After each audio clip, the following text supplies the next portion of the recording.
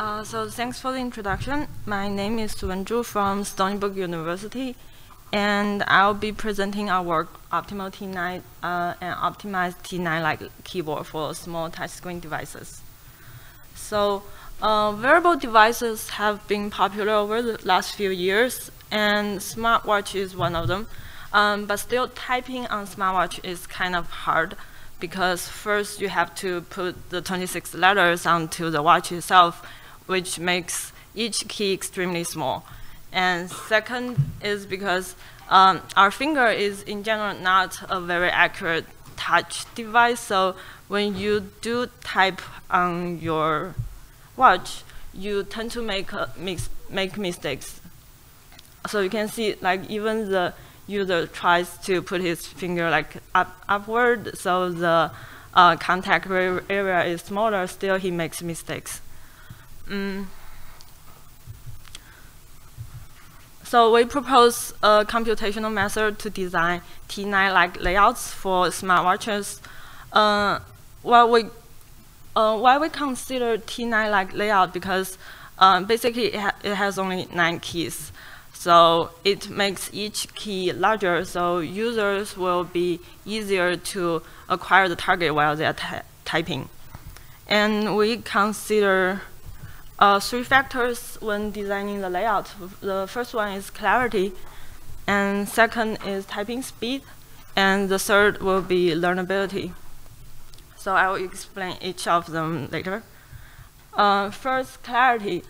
We use clarity to define how much the layout is resistant to uh, word collisions. So basically, when you have a multi-letter key layout, um, there are certain words that correspond to the same typing sequence. So in this case, when you type the keys, I think 8, 4, and 3, it corresponds to the word the and also the word type.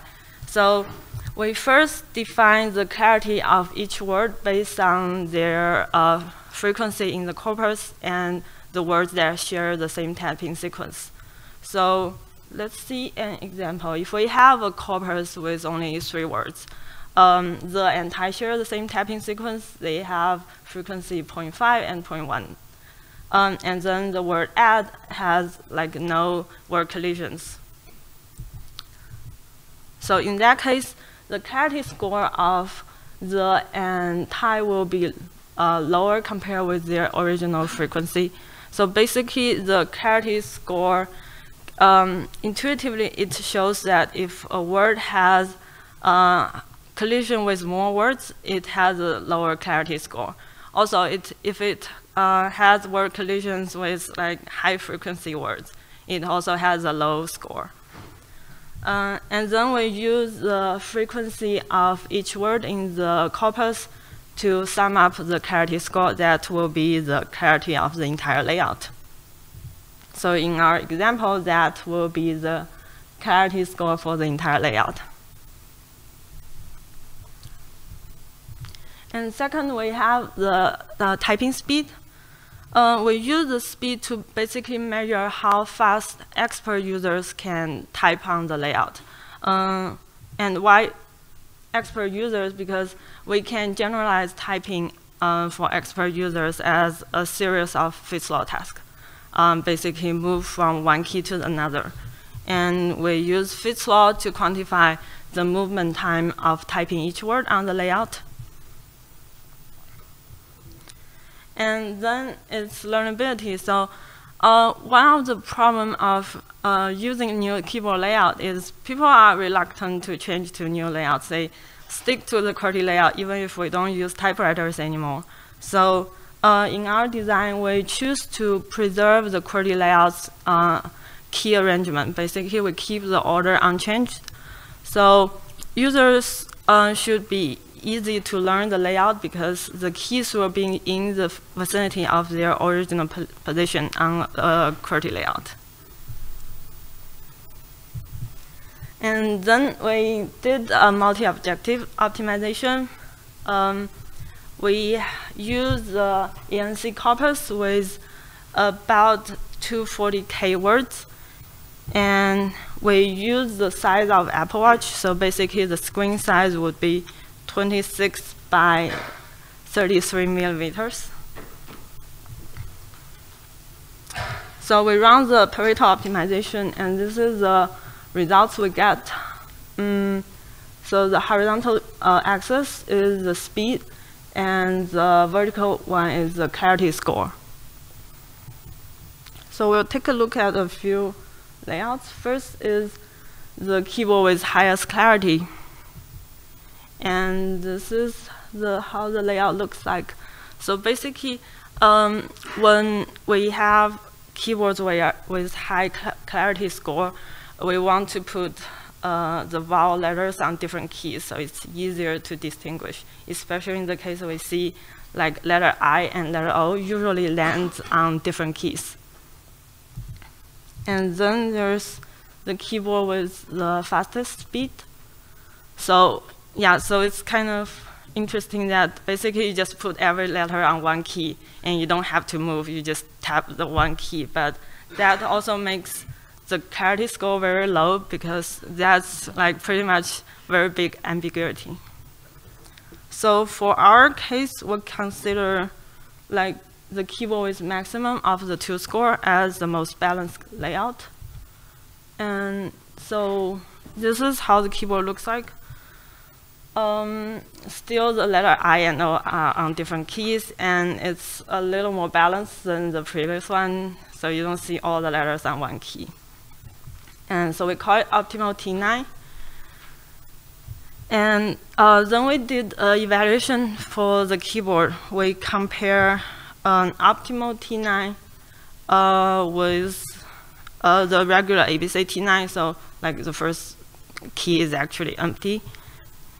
And then there's QWERTY-like, which was proposed a few years ago, and it's uh, swapping a few letters position on the QWERTY layout, so it's very similar to QWERTY, but it has better performance. And the last one, which is not a multi-letter key layout, but we use it as a baseline. So we had recruited um, 20 users um, they, so this is within subject design, so each user type on the four keyboard. Um, and for each keyboard, we had uh, five blocks, each block with six phrases, so in total, I think 30 phrases. And we'll see uh, some of the results. First, in terms of typing speed, uh, optimal T9 is faster than the other two multi-key layouts. Um, so the difference between optimal T9 and the other two was significant. And also we can see that optimal T9 is also uh, similar to QWERTY in terms of typing speed. Um, oh. And second is error rate. So uh, for the multi-key letter layouts, uh, the error rate was in general uh, lower than QWERTY. So as we have seen before, QWERTY uh, given the small key size, it causes a lot of errors for the users. And so next is in terms of learnability.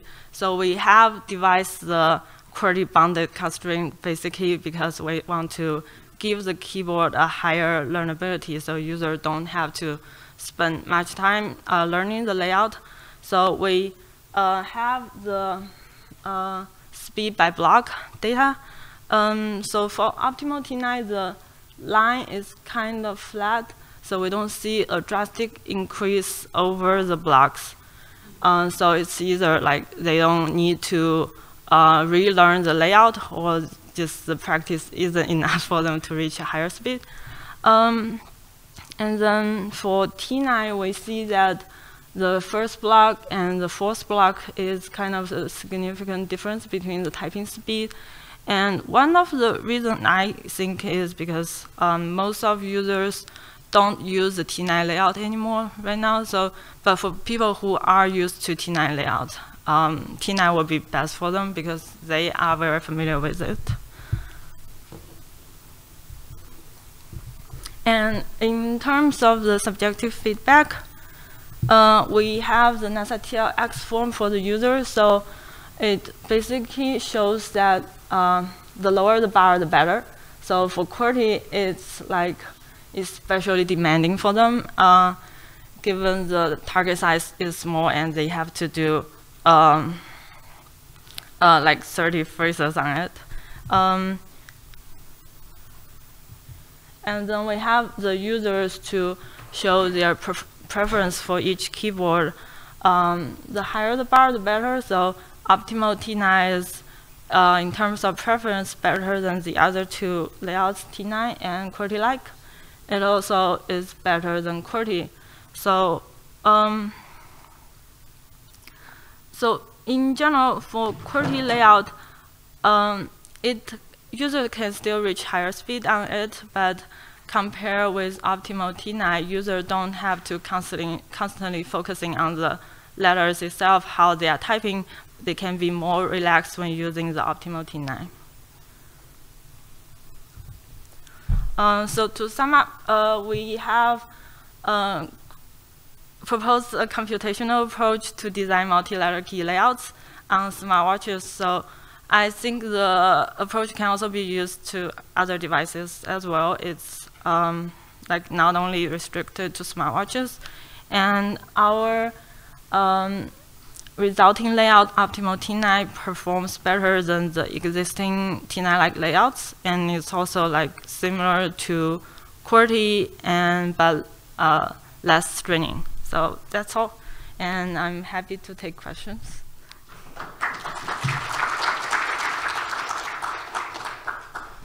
So while we're waiting for the first questions, why don't we present the uh, award for honorable mention?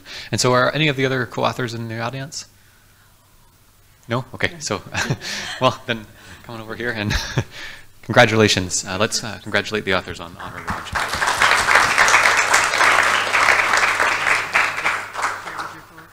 So does anyone have any questions? Okay, so I, I, I have one. Oh, you had, Uh, came from Aalto University. So uh, the error rate was corrected or uncorrected error rate. The error rate you measured is corrected or uncorrected error Uh, rate? corrected. corrected. So, uh, So um, we ask user to type as fast and accurate as possible. So when they cannot type a word correct for three times, they, they can skip the word. So leave the wrong word there and move on to the next one. So for QWERTY, I guess like sometimes they are typing too fast, they didn't uh, realize that there's a mistakes. And because for the multi-letter key layouts, um, you can assume the literal string is kind of always wrong. So you can just go ahead and autocorrect it. And for QWERTY, um, the users probably didn't realize that, so they just type ahead and didn't correct.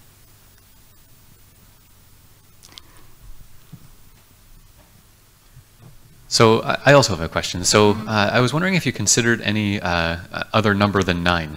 Um, so did you consider using uh, 12 uh, Yeah, yeah. button so layout or we anything like that? we consider other number like three by two. It's basically only six keys. That makes each key has too many letters, and then three by four, and that's like 12 keys. But on the watch, when you have uh, 12 keys, it, the key size will be uh, like uh, smaller than the key size, regular key size on a smartphone. So that would still be too small. But if you consider doing it on your phone, uh, different key numbers would work. uh, may I have a one more question? Yeah, yeah. Is, is there still time? Yeah, so is any kind of statistical decoding was applied to the QWERTY? Yes, yes. So all keyboards use the same statistical decoder. They use same language model and the predictive model. Uh, but the is touch model was applied to the QWERTY? With, Yeah, yeah. okay, thanks. Okay, so uh, if there are no more questions, let's thank our speaker one more time.